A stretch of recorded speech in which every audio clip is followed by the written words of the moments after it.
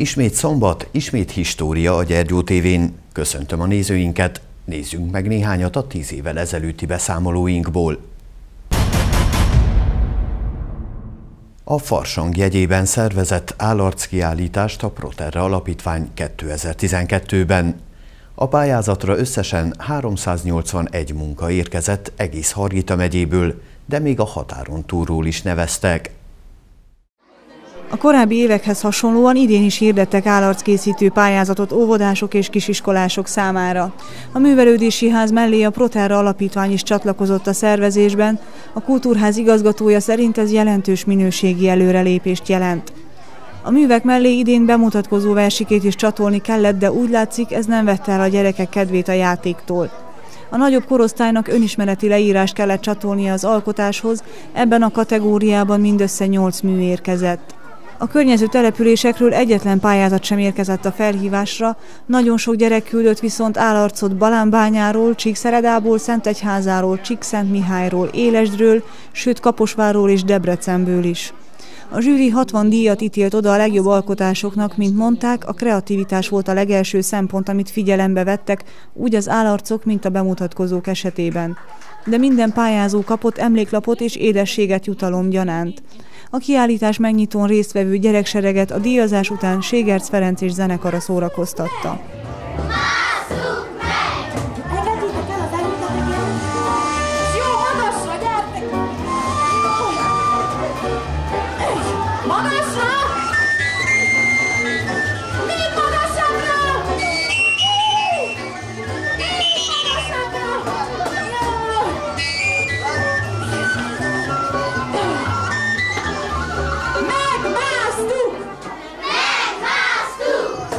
A Medvejáték című interaktív előadásnak igen nagy sikere volt kisebb és nagyobb gyerekek körében egyaránt.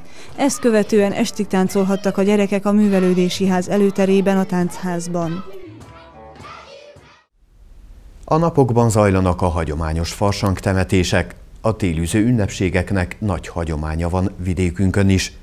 A szokásos dramaturgiai játék és bábúégetés nem maradhat el, és ezek a programpontok jó hangulatban zajlottak 2012-ben a Vaskertes általános iskolában is. A Vaskertes általános iskolában már nyolcadik alkalommal szerveztek farsang temetést. Az intézmény pedagógus közössége fontosnak tartja a népi hagyományok ápolását, a fiatal nemzedék bevonásával annak továbbadását. A mai nap vidám hangulatban zajlott, egész nap jelmezes diákok járkáltak. Délben pedig az iskola minden osztályának jelenlétével, télűző játékkal, bábúigetéssel búcsúztatták a farsangot. Minden évben az ötödikeseknek jut ez a szerepkör, így is megmutatkozhatnak az iskola nagyobb tanulóinak. Ők még az a korosztály, akik szívesen vállalnak ilyenfajta szereplést.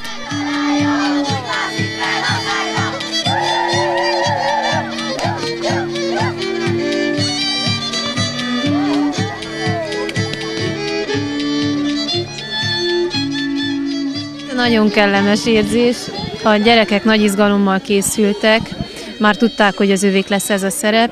Hát körülbelül két-három héten keresztül tudtunk gyakorolni, sok volt a hiányzó beteg, úgyhogy csak ennyire sikerült összehozni, de szeretik, nagyon élvezik. Ők még az a korosztály, akik még, még tudnak játszani. Úgyhogy ezért, valószínű, hogy ezért alakult ez így ki, hogy az ötödikeseké ez a szerep. Az iskola hátsó udvarán mutatták be az ötödikesek Cibere Vajda és Konckirály játékát, népi mondókákkal, csúlyogatásokkal színezve. A télűző játék csúcspontja a szalmabábú égetés volt. Az 5A és 5B-s diákokat a magyar tanárnő segítette a felkészülésben, a diákok ötleteit is felhasználva. Mivel az osztályokban többen néptáncolnak, így táncos játék is színesítette az eseményt, amivel a kitartó tél előzését remélik. Egésznapos rendezvényt szerveztek tíz éve a Fogarasi Mihály általános iskolában is a tanítók. Vidám hangulatban telt ott is a kisdiákok télbúcsúztatója. Jelmez bemutató és táncház színesítette a hétköznapot ma a Fogarasi Mihály általános iskolában a farsang temetés alkalmából. A gyerekek jelmezbe bújtak, nagy részük versel mondókával mutatkozott be társainak. Úgy döntöttünk, hogy a húshagyó keddet a iskola szinten fogjuk megünnepelni, így minden egynégyes osztályunk közösen készültünk és megszerveztük a farsang temetést. Reggel a gyerekek jelmezeinek a bemutatásával kezdődött, itt minden évfolyamon minden gyerek bemutathatta a jelmezét, aki szeretett volna verset mondani, az megtehette ezt, majd ezt követte egy táncház, a táncházot követően mindenki az osztályába vonult, ahol elfogyaszthatták a farsangi fánkokat, és végül a farsang temetéssel, a bábú égetéssel zártuk a napot. A farsangi fánk elfogyasztása után az iskola udvarán került sor a télűző játékra. A gyerekek az iskola udvarán elsiratták, majd el is égették a szalmabábút, a téjjel képét. Én kandúr voltam. Volt, volt sapkám is, kandúr sapkám milyen mondókád mondtál? Hát ö, azt mondtam, hogy én vagyok a kandú, szeretem az egere. Nagyon jó volt, lehetett szórakozni, mulatni, enni, inni. Maszkarások, bolondok, rázzátok a kolompot. Takarodjál, takarodjon el, hogy örvendezzen, aki él. Táncoltunk, meg me, mindenki megtudta, hogy mit csinál, vagy minek öltözött be, se léget vábukat, ennyi.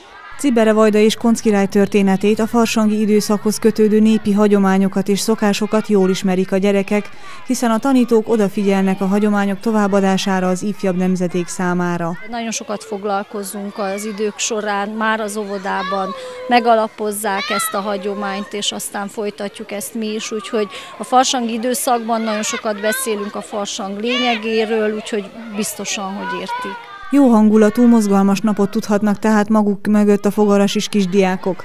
A vidám hagyományápolás nem csak őket, de az oktatókat is jókedre derítette. Ebben az időszakban írta alá a 2012-re vonatkozó együttműködési szerződést a kutyamenhelyet működtető szervezet és az önkormányzat. Az akkor meghatározott összegbe az ebek befogása és fülszámmal való ellátása is bele volt kalkulálva. Ez csak részben jelentett megoldást a kóborkutya problémára. Ma délelőtt írták alá az idei évre vonatkozó együttműködési szerződést a kutyamen helyett működtető Gyergyói Állat és Természetvédő Egyesület és a Városháza között. A szerződés értelmében 35 ezer lejt fordít az önkormányzat arra, hogy befogják, ivartalanítsák és fűszámmal lássák el a kóborebeket. A tervek szerint az akció márciusban a vemhes vagy tüzelő nőstények befogásával kezdődik, Áprilisban viszont egy város szintű akció keretében az összes kutyát szeretnék befogni. Ez egy viszonylag megterhelő a város számlára, ugyanis egy ilyen menhelynek, tehát figyelembe véve azt, hogy jelen pillanatban hány kutya van lent a menhelyen és hány van még az úton, nem számol azzal a kutyákkal, azokkal a kutyákkal, amelyek még időközben megjelennek, mert hogy ugye tudjuk, hogy még hoznak a városba sajnos. A mehely fenntartása 150-200 ezer lejbe kerülne évente a városnak, amivel csak azt érnénk el, hogy a jelenlegi szinten tartanák a kóborkutyák számát, és nem lennének az úton, viszont a város terhelnék annyira anyagilag, hogy körül egy 3, 3000 négyzetméternyi aszfaltára menne el évente, csak a kóborkutyák úgymond etetésére, fenntartására, nem számítva még a fejlesztéseket is. Nincs lehetőség arra, hogy a befogott kutyák a menhelyen is maradjanak, hiszen az már jelenleg is kapacitásán túl működik. A 120 férőhelyes menhelyen 125 ebet tartanak és látnak el jelenleg, az utakon pedig még közel ennyi kutya csatangol a becslések szerint. Tehát amit mi terveztünk az az, hogy a terhes kutyákat és a, a tüzelő nöstényeket, azokat próbáljuk összeszedni és ivartalanítani, a továbbiakban lesznek még ivartalanítási kampányok, de hát most, most egyelőre a, a nőstényeket részesítjük előnyben. Valószínű, hogy egy része össze is lesz fogva, nem maradnak az úton. Ezért más megoldás hiányában a szelidebbnek bizonyuló ebeket, illetve azokat, melyeknek eltartását vállalják a lakók, visszaengedik majd az utcákra. Hát sajnos a Városháza támogatásán kívül nagyon kevés jön nagyon kevés pénz jön be. Szoktunk kapni külföldről támogatást, de nagyon-nagyon ritkán, és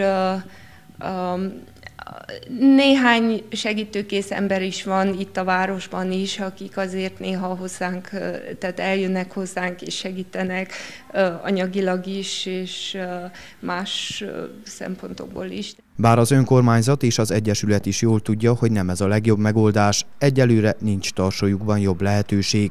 A pénzhiányon túl a nem egyértelmű törvénykezés is hátráltató tényező. Véleményünk szerint nem helyi szinten kellene kezelni az, hogy teljesen meg tudjuk oldani, hanem kormány szinten egy egységes központi rendelet lenne szükséges, ami vagy azt mondja ki, hogy országszinten altatjuk a kutyákat, vagy azt, hogy országszinten sterilizáljuk azokat, és ezáltal elérjük azt, hogy két-három év alatt megszűnik a kóborkutya probléma országszinten.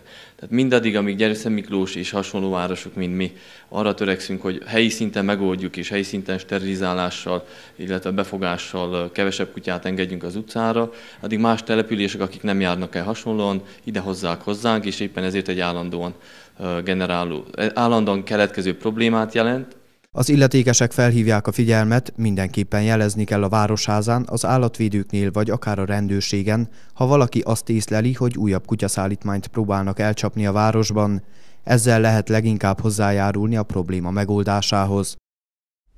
A hó által elzárt településekre juttatott segélycsomagokat a Vöröskereszt Hargita megyei, illetve Gyergyó-Szent Miklósi szervezete.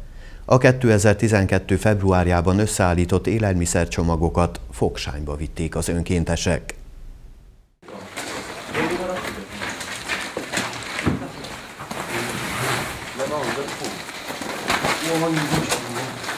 Az indulás előtti percek. Épp a Gyergyói és más Hargita megyei adományozóktól gyűjtött csomagokat rakják a teherautóra a Vörös Kereszt önkéntesei. Az egy tonna súlyú, mintegy 4000 leértékű élelmiszeradományok ezúttal a Vráncsa megyei Fogsány településre kerültek. Bár az utóbbi napok enyhe időjárásának köszönhetően némileg mérséklődött a helyzet, így is nagy segítség volt a Hargita megyeiek adománya a hó által elzárt települések lakóinak. A segélycsomagokat végül a helyi Vöröskereszt önkéntesei vették át, majd osztották szét a leginkább rászorulóknak. Vă mulțumim frumos că v-ați gândit la noi. Uh, alimentele sunt uh, de mare folos. Uh, vă mulțumim în, în numele celor la care vor ajunge aceste produse. Mivel a gyergyói önkéntesek saját szemükkel is megszerettek volna győződni az elzárt településeken uralkodó helyzetről, ezért néhány csomagot személyesen szállítottak el a bajba jutottakhoz. A Fogsánytól néhány kilométerre fekvő Mircsestinói településen meglepődve, de nagy szeretettel fogadták őket. Să ne scuzați că vă deranjăm. Suntem de la Crucea Roșie Harghita din Secuime și am venit la colegii din Vrancea și la dumneavoastră să vă o mică atenție din partea noastră. Știu că ați avut de suferit cu, cu problemele zăpezii, da? Dar cine n-a avut de suferit noastră? Toată lumea a avut de suferit. Aproape toată. Noi suntem mai feriți de, de zăpezile mari munți. Ne-a ferit Dumnezeu de așa ceva, din cauza aia ne-am gândit la dumneavoastră. Aici o să. Két hét gyűjtés után sikerült a Hargita Vöröskereszt önkéntesei 4000 leértékű adományt összegyűjteni, és sikerült, hogy a Vrancsa megyei Vöröskeresztes önkénteseknek lehoztuk és átadtuk neki. Még volt, bementünk egy olyan 8 kilométeres távolságban egy fogsám mellett egy faluba, ahol átadtunk négy családnak csomagot, és láttuk mi is a saját szemünkkel, hogy milyen nehézségekbe szenvedtek a nagy hó miatt. A Hargita megyei Vöröskereszt gyergyói szervezetének elnöke reményét fejezte ki, hogy a közeljövőben nem lesz szükség hasonló akcióra, hisz az azt jelenteni, hogy nem következett be újabb természeti katasztrófa ezeken a településeken.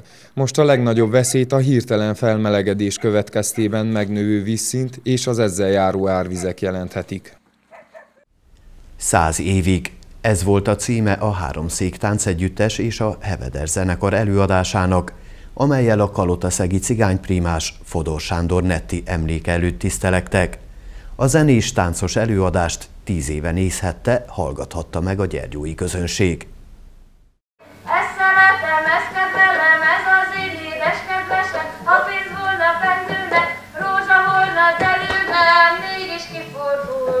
Fodor Sándor Netti egyike volt azoknak a primásoknak, aki nem bánta, ha lopják tőle a mesterséget. Éppen ellenkezőleg kitűnő pedagógiai érzékkel született, tanítványait gyermekeiként szerette.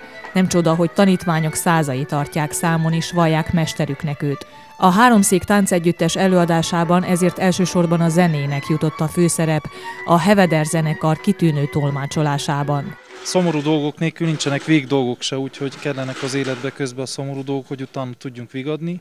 Netti Sanyival is annak idején vigadtunk, volt alkalmunk közben vigadni, mindnyájunknak a zenekarból. Hát úgymond a, az életének az utolsó részét sikerült mi elkapjuk, mondjam így tudtunk közösen zenni vele, és tehát láttuk, nem csak hallottuk a zenét, hanem láttuk is a zenét, ugyanis ezt az ő, zene, az ő zenét látni is lehetett, tehát annyira látványosan csinálta ezt a zenélési formát, hogy, hogy nem csak auditív, hanem vizuálisan is egy érdekes dolog volt. A műsoron belül nem csak az ő zenéből hallhattak, hanem más híres kalutaszegi primásoknak a zenéből. Hát hét primásnak a zenéje is fenn, felcsengett a, a műsor keretén belül.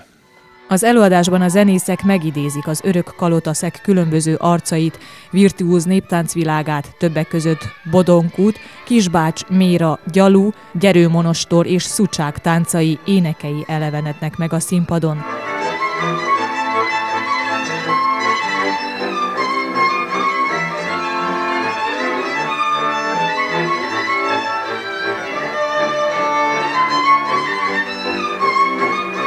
Az előadást olyan híres kalotaszegi primások zenéjéből válogatták össze, mint Laka Aladár, Viski Rudolf, Varga Ferenc, Antal Ferenc, Kovács Simon, Nonika Mikló és természetesen Fodor Sándor Netti. Hát én igazából egyszer muzsikáltam Netti Sanyi bácsival, egy népzenei néptánc találkozón Szentgyörgyön. Egy élmény volt. Tehát akár, akármelyik falusi cigányzenész, amelyikkel életemben muzsikáltam, mindegyikkel élmény volt muzsikálni.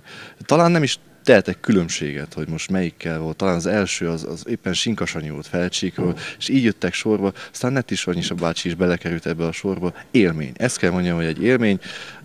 Feledhetetlen. Erre mindig emlékezni fogok, és ezekből táplálkozunk akkor, amikor a hangszert a kezünkbe vesszük, és megpróbáljuk azt az élményt felidézni, azokat a hangokat, azokat a hangulatokat felidézni magunkba, és így tudjuk ezt újra és újra átélni, ezt a muzsikálást. Az előadást a kiváló zenész, koreográfus és rendező Köncei Árpád fogta össze, de szabad kezet adott a zenészeknek is. Mindenik a kedvencét próbálta belevinni, és Netti Sanyi bácsi életútján át az egész kalotaszegi primás egyéniség zenéjét szólaltatták meg.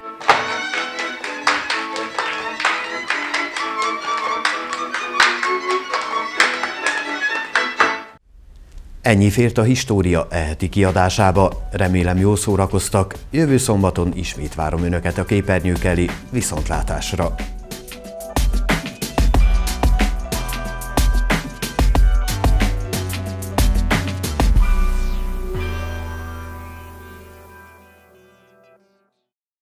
A műsor támogatója a Senior Férfi Ruhaszaküzlet.